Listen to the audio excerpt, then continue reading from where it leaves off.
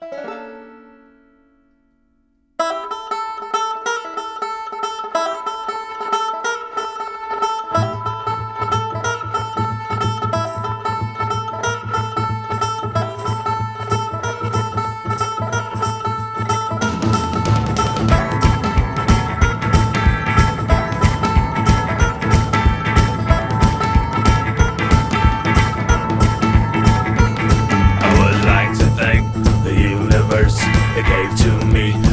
to birth and for everything that it's worth.